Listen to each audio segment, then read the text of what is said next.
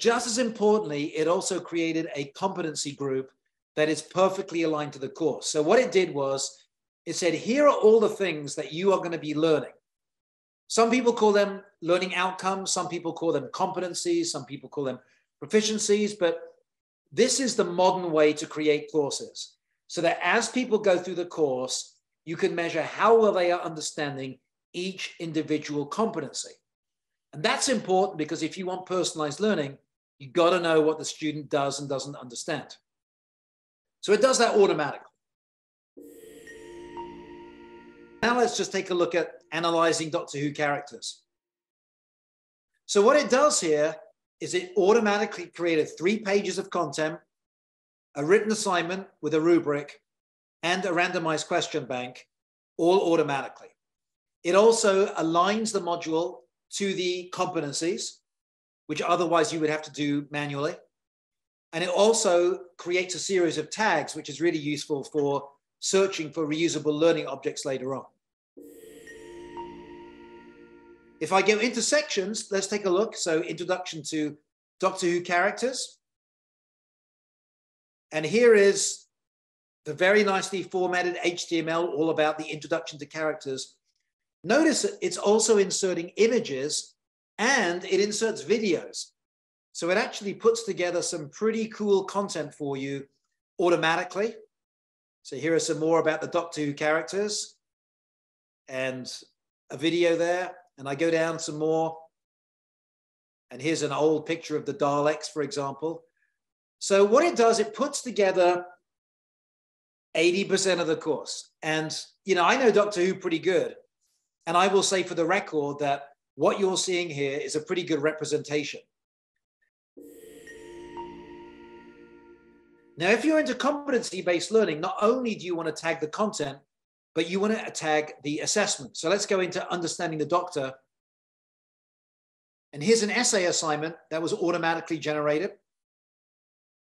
And here is the rubric that was automatically generated for scoring the, the student's submission. And each rubric criteria is automatically aligned to the competency that it is scoring. So as you go through the course and as you are assessed, it's able to pinpoint exactly which, which concepts you're getting, which ones you're not getting. And that way we can fine tune the feedback that we give to the student. And similarly, if you go into the quiz, all of these questions were created automatically. So true or false, the doctor is a Time Lord from the planet Gallifrey. Answer is yes.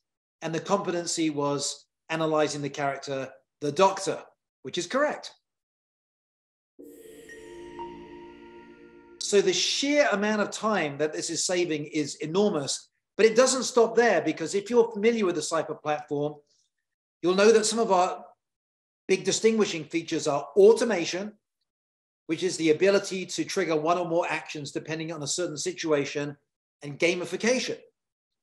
So this Copilot would not be complete without automatically generating a game for you. So here is the game, Time Lord Academy. And I go into the game and it's automatically generating five levels in the game associated with hitting certain points. So if you get if you get a thousand points, you are level five, the master of time. It automatically creates badges for every level. So here are badges associated with the levels. And it automatically inserts the automation statements um, that trigger these points. So for example, if you weren't using Copilot, you would have to come into a module and say, when you complete the module, award 100 points. But Copilot actually did it for you.